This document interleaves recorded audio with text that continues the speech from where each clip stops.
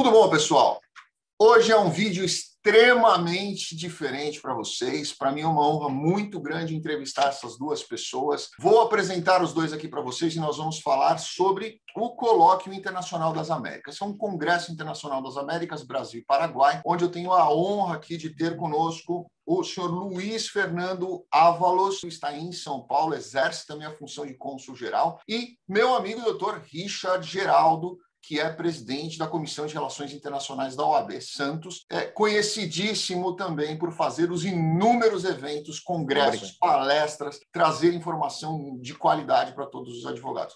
Agradeço a presença de vocês dois. Senhor Luiz, conta para a gente, por favor, fala um pouquinho da sua carreira, fala um pouquinho da, da sua situação no Brasil e depois eu falo com o Dr. Richard também para ele se apresentar. Ok, boa tarde, boa tarde a todos. Muito prazer de estar com vocês esta tarde. A primeira precisão é que eh, depois a nossa lei profissional do, do ano 1999, nós estamos eh, em, em, hierarquias de acordo no rango. Eu sou embaixador, mas atualmente eu sou cônsul geral do Paraguai em São Paulo. Nós temos um embaixador eh, do Paraguai em Brasília. Eh, a oficina principal está em Brasília, é precisamente o nosso embaixador Delgadillo, que vai falar no ato da apertura, justamente eh, parabenizar a vocês.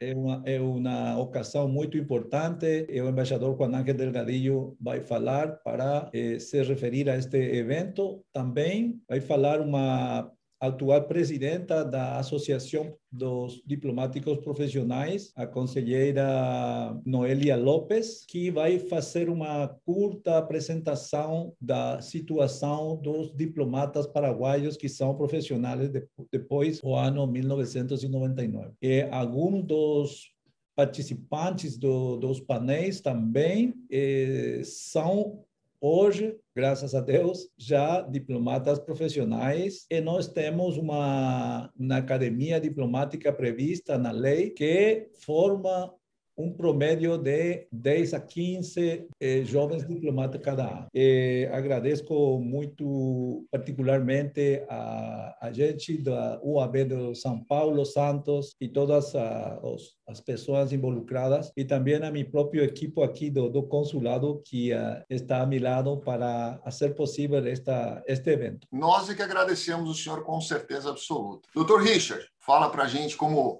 também um embaixador dos eventos da OAB, né? uma pessoa que, que dentro das comissões é extremamente conhecido e reconhecido pela qualidade dos eventos que vocês é, desenvolvem, que, que o senhor capitaneia nesse, nessa estrutura toda que, que vem sendo criada, com grande, grande, grande sucesso. Explica para a gente também, se apresenta um pouquinho e é fala para a gente um pouquinho também desse evento que a gente vai fazer agora e que vai trazer muita informação para essas pessoas. Primeiro, doutor Daniel, agradeço a você por essa oportunidade que está nos dando, nos fornecendo em relação a essa questão de vídeo, de divulgação do evento e participação também, que o doutor vai ser um dos palestrantes também desse evento, sempre na questão de imigração. Está é, é, é sendo uma peça importantíssima, tanto na nossa comissão de Santos como na nossa comissão de São Paulo. Este evento, nós primeiro agradecer ao governo do Paraguai, através do consulado, está proporcionando uma coisa única em termos de OB, essa interação Brasil e Paraguai, que está sendo importantíssimo, vai ser um, um marco para nós histórico em termos de relacionamento, é, é, sabendo a,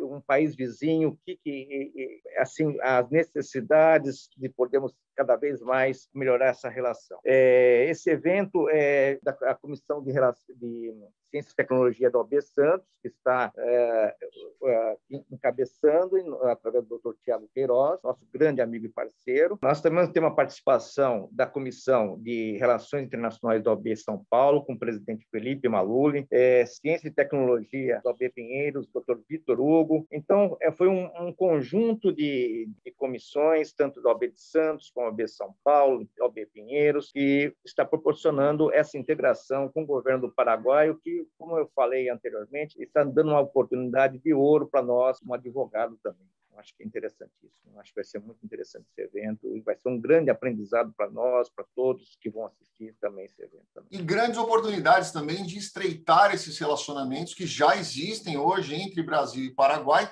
inclusive na área jurídica, onde muitos contratos hum. acabam surgindo e muitas parcerias acabam surgindo. Embaixador, Explica um pouquinho para a gente qual é a importância dessa relação Brasil-Paraguai. Como que o senhor vê a importância é, desses dois países dentro do Mercosul e isoladamente? Eu acho que nós somos uh, parceiros, sócios estratégicos de primeira ordem.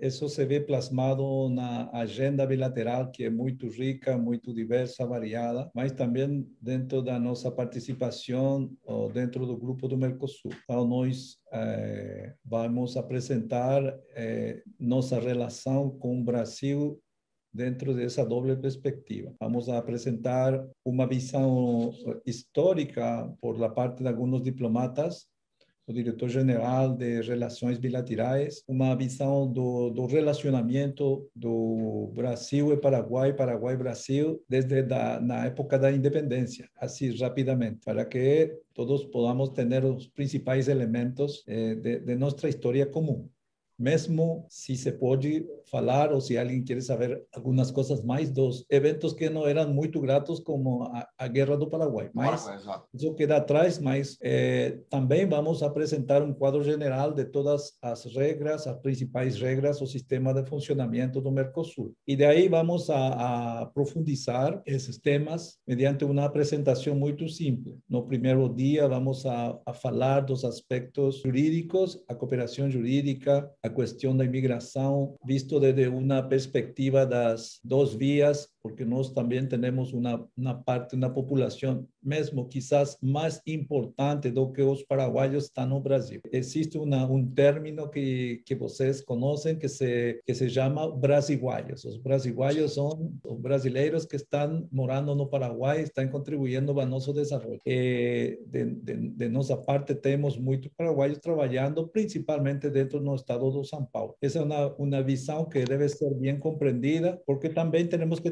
trabalhar para uma me melhor integração entre essas duas comunidades. Então, o primeiro dia vamos a, a, a, falar também dos principais hechos, sucessos eh, que nos unem eh, em la luta do, dos delitos transnacionais.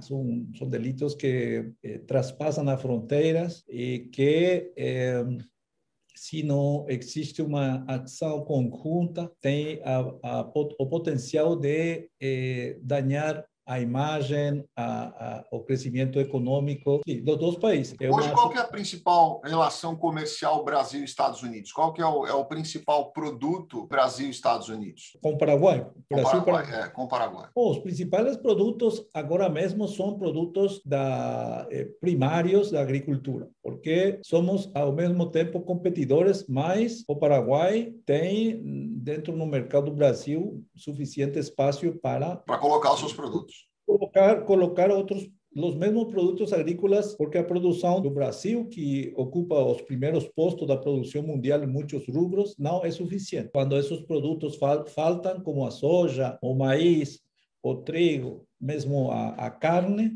eh, o, o, Brasil é um parceiro que nos dá uma sinal de, de, de, que isto está faltando no mercado brasileiro e temos os, os mesmos produtos eh, dentro do território brasileiro. Mas, além disso, o que importa para profundizar a integração eh, é também estabelecer os laços mais profundos comerciais. Por, por, por exemplo, a, a, integração das cadenas produtivas no setor, dentro do setor industrial. Eh, estamos vendo que um parceiro importante como Brasil, para nós os paraguaios, está eh, dentro desse contexto de pandemia, está produzindo uma perda de competitividade. E essa perda de competitividade é muito importante para nós ajudar o Brasil, mediante umas cadenas produtivas de integração, completar alguns produtos que o Brasil importa a muito alto preço de, de outros continentes, para se produzir finalmente eh, produtos, me refiro especialmente no setor automotor, carros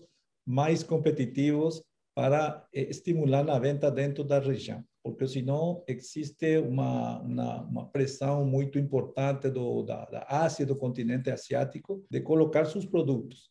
Sim. E o Paraguai eh, espera dentro dos próximos anos, por isso hemos assinado um acordo automotor em fevereiro de 2020, um acordo automotor para facilitar a produção de peças no Paraguai.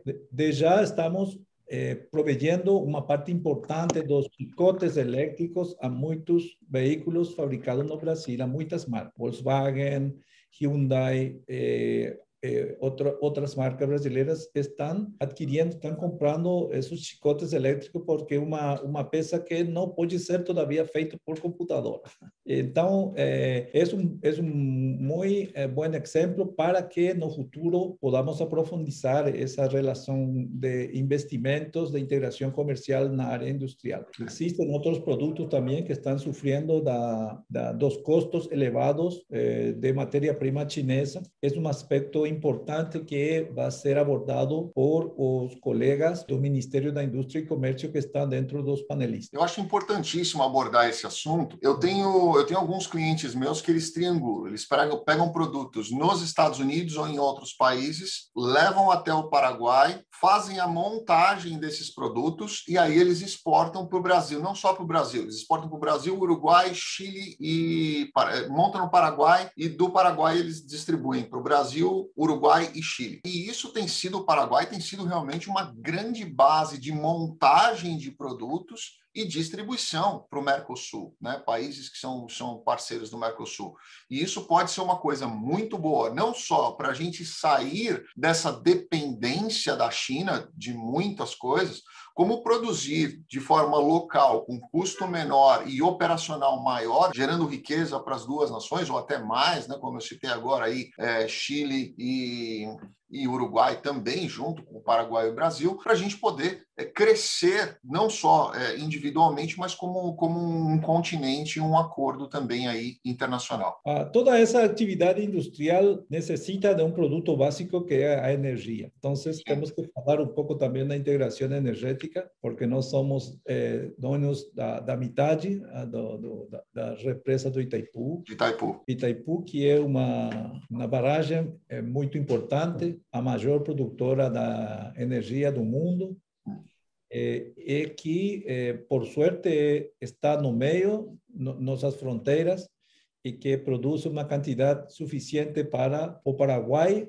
mas o, o, que resta é exportado no Brasil, é principalmente dentro do estado de São Paulo. Assim que o estado de São Paulo é, em grande medida, dependente da energia de Itaipu. Itaipu. Agora, bem, é, nós temos de, diante da produção industrial, muitos novos elementos, como ah, o compromisso social, medioambiental e de governança. Todos esses desafios têm que ser tenidos em conta também para fazer uma integração das indústrias com os mesmos critérios, porque há pouco tempo hemos finalizado negociações comerciais com a, a, a União Europeia. Essa energia tem que unir-nos tem que servir para a união dos povos, para gerar maior riqueza dentro dos dois países. É, é, a represa Itaipu tem uma parte do tratado que tem que ser é, essa integração é, é general, concierne todos os aspectos da vida política, da vida jurídica, judicial, da vida econômica, da vida comercial. É o que define a palavra parceiro. Não nós podemos não podemos eh, dentro de nossa vida normal deixar de considerar nenhum aspecto importante de nosso relacionamento.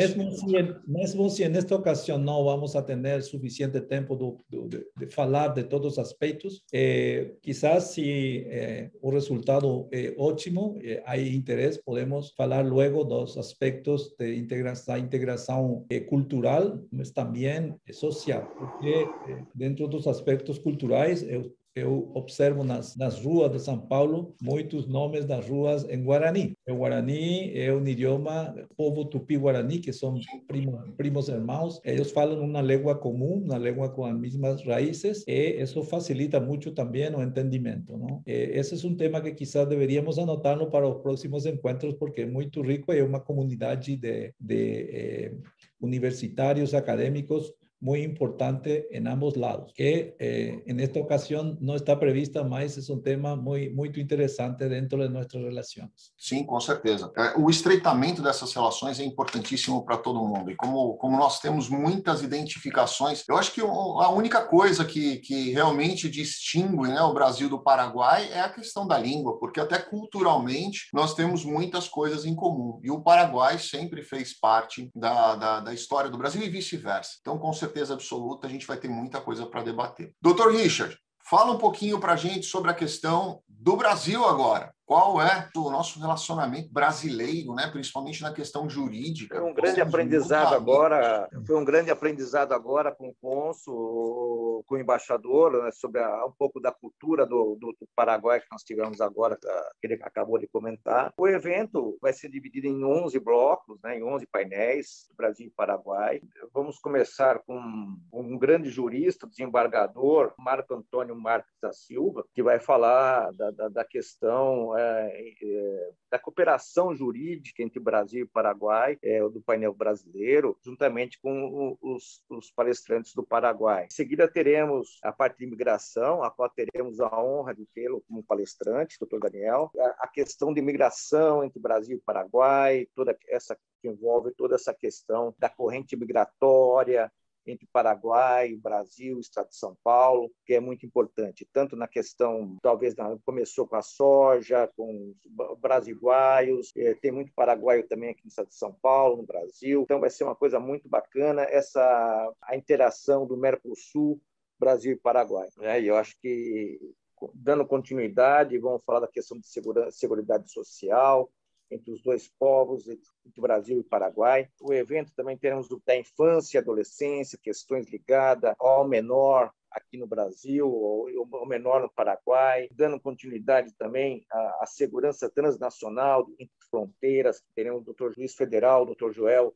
Zampelotti, Zampelon, que vai dar a continuidade. E no dia seguinte, isso no primeiro dia, no dia seguinte vão ter, é, vamos falar sobre um pouquinho da Itaipu Binacional, onde teremos o Roberto Massu Massaro Atanabe, um dos maiores engenheiros da história do Brasil. Ele é, fez obras como Itaipu, uh, foi o precursor da, da, da, da engenheiro responsável por Itaipu, pelo lado brasileiro. Teve no Itucuruí, Ilha Solteira, Rodovia dos Imigrantes, a primeira pista da Rodovia dos Imigrantes, entre, entre outras obras fantásticas de engenharia do Brasil, e vai dar um pulo interessantíssimo nesse painel também, vai mostrar uma questão de logística entre Brasil e Paraguai, na questão de, de logística de transporte, vai comentar da energia, de, de como que é a formação da da, da, da, hidrelétrica de Itaipu, e vai ser um grande aprendizado para todos que vão assistir, um dos maiores engenheiros da história do Brasil, posso dizer que está entre os tops 10 do mundo como engenheiro. engenheiro. É, em seguida, vai ter investimento em infraestrutura. Né?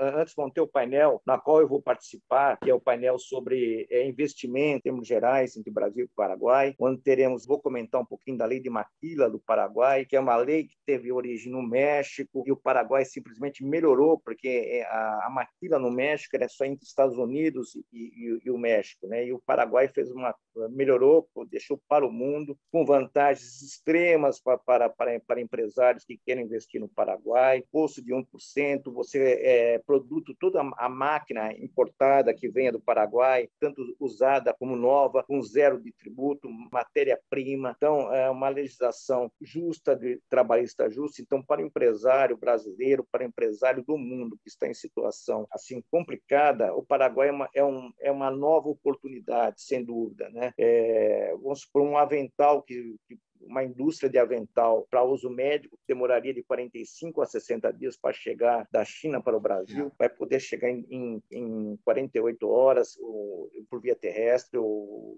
no máximo três dias. Então, a, a, a, questão de logística para a indústria é muito fantástico para o comércio, é, a, esse investimento no Paraguai. Fora a tributação de 1% para exportação e, e, vamos supor, uma mercadoria que possa ser exportada do Paraguai para a comunidade europeia Europeia ou para os Estados Unidos, de 100 a 50% menos tributáveis que no Brasil. Então, é uma vantagem imensa para o brasileiro, o empresário brasileiro que deseja entrar na parte de exportação através da lei de Mar. Fora a vantagem de 70% de energia mais barata. Então, isso impacta muito grande na indústria e sem impostos. No Brasil, você paga a conta de luz e ainda vem imposto em cima da conta de luz. São oportunidades é, de, de negócio. Em seguida, vai vir a questão de infraestrutura, de investimento, vamos falar também da, da hidrovia Tietê-Paraná, da questão das, das reclusas. Um, nós vamos ter o Tércio Casimiro, que foi, preside foi presidente da CODESP, mas também foi também responsável também na questão de hidrovia do Estado de São Paulo. E o doutor Roberto Caldas, vai falar sobre as PPPs e como fazer esse investimento para darmos continuidade nas hidrovias entre o Tietê e Paraná. Né? E com isso possibilitando dessa maneira a logística excelente de escoação de produção entre os dois países com um custo muito menor. O Tietê já é um, um para quem não sabe, na verdade, se você for ali um pouco mais para o interior de São Paulo, pegar ali a região centro-oeste, pegar Bauru, Lençóis, Barra Bonita, Barra Bonita o, o, Tietê é totalmente navegável e ali passam balsas com produtos, com, com diversos é, equipamentos, inclusive pesados, que transitam ali via é, fluvial, que acabam reduzindo bastante o custo.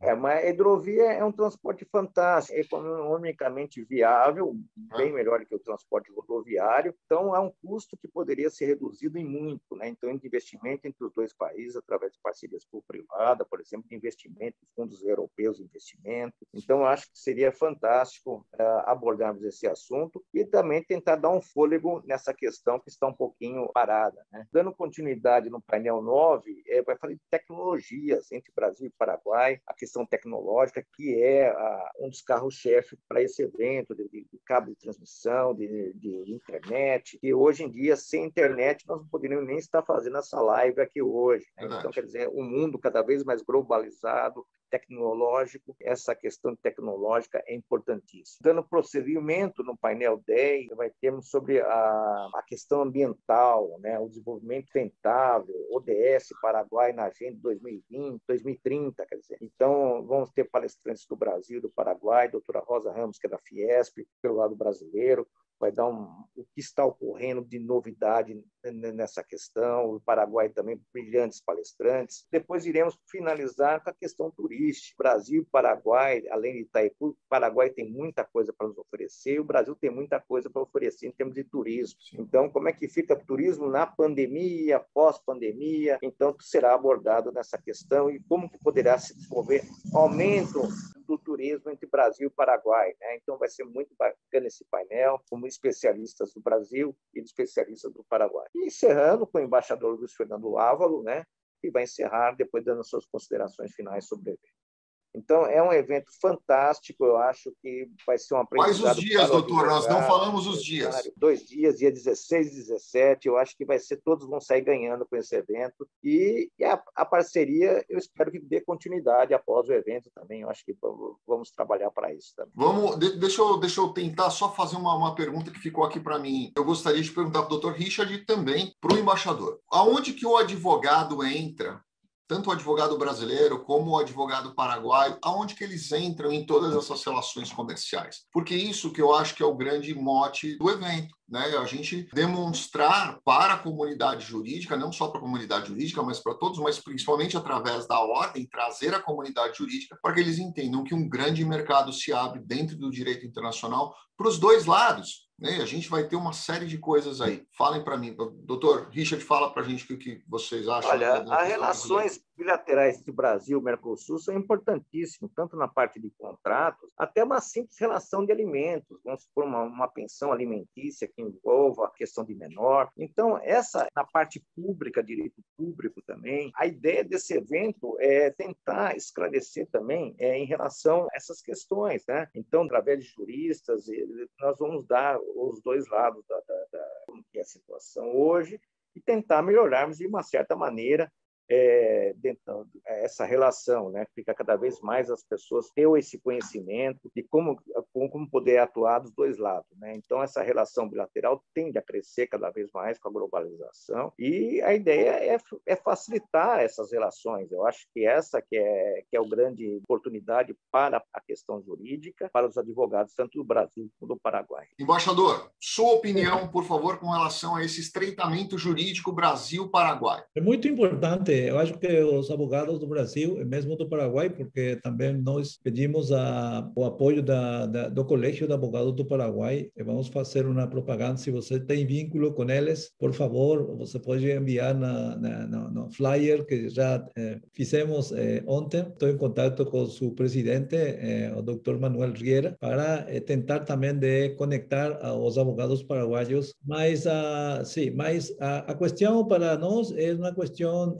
eh, a pergunta é muito importante, é uma questão transversal. Nós vemos a participação dos advogados dentro dos eh, temas dos painéis, eh, quase todos. Por exemplo, na questão comercial, a, a principal, uma das principais eh, investimentos do, do, Brasil no Paraguai é do setor da carne. Aí temos uma empresa que se chama Minerva, que comprou uma, um frigorífico, eh, eh, produz e processa carne muito importante, que se llama Atena. Atena e Minerva é, é no nome brasileiro. Nós vamos apresentar uma, brevemente um caso de êxito do, do, do CEO de, de, Atena dentro de um dos painéis. Ele, ele vai falar do, do, do êxito da, do, do, investimento brasileiro no Paraguai, mas é, a história que está detrás, o backstage, como disse, é que o contrato de estabelecimento é sempre jurídico. Há uma advogada que também é nossa amiga, a doutora Flávia, que é assessora jurídica de Atena, que é ela eh, preferiu que so, o o CEO, participe, mas é um, é um claro exemplo do, da participação dos advogados dentro do sistema de eh, investimentos. Sempre, ah, é, mesmo se os advogados, os bufetes, os membros têm interesses, eles mesmos do, do,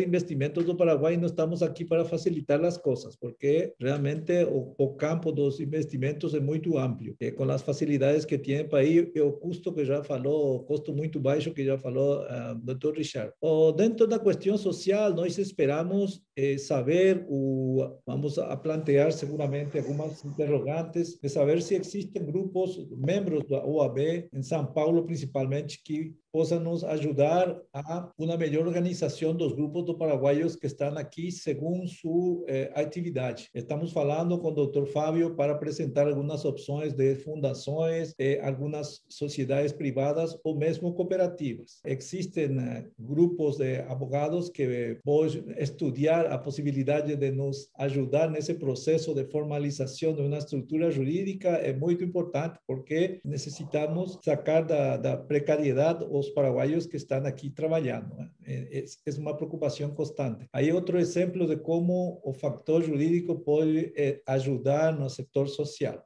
Dentro das, das da, da, da eh, situação general de caráter eh, jurídico, policial, etc., é sempre importante.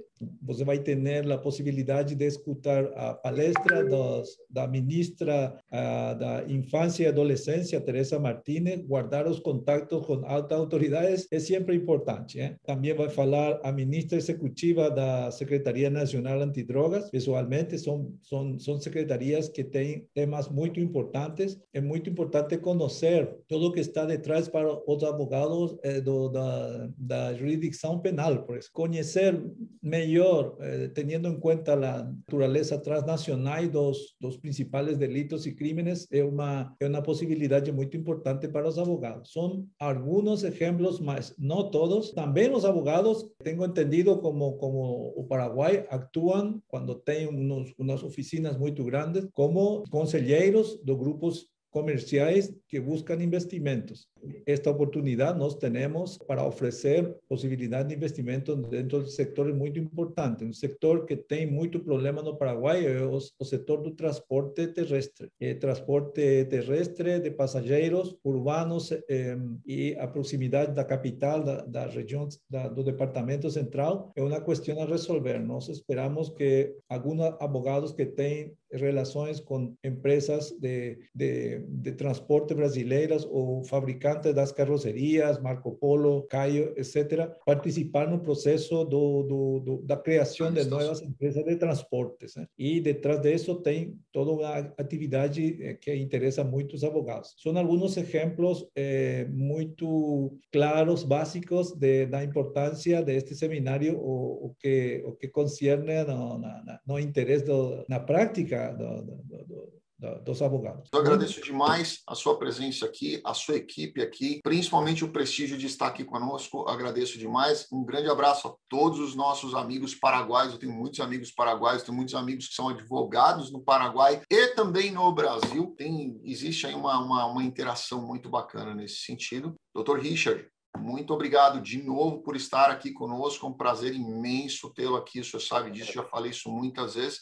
Não me canso de repetir, porque realmente eu, eu gosto muito da sua presença e principalmente do conteúdo que acaba agregando sempre ao canal. Agradeço. Estou, que estou muito agradecido, estou disponível quando você quiser para eh, tocar mais detalhe eh, os, os, os, temas deste painel e organizar alguns uh, temas de, de, futuros painéis. Quem, quem disse que não podamos ter uma segunda oportunidade. Desde já, muito agradecido por esta oportunidade. Eu que agradeço. Doutor Richard. Eu que agradeço e vamos dar continuidade no evento, dia 16, 17, todos estaremos juntos, se Deus quiser, nesse evento, que eu acho que vai ser um grande aprendizado para todos nós. Amém. Que assim seja. Muito obrigado a vocês. Quem não se inscreveu no evento, nós vamos deixar o link para inscrição aqui. Quem tiver interesse, assista. De qualquer jeito, vai ficar no, no, no, YouTube também o link, né, doutor? Nós vamos deixar também o link do evento depois de gravado no YouTube. Quem tiver interesse, só entrar e assistir posteriormente. Grande abraço a todos, fiquem com Deus. Obrigado. Obrigado. Tchau.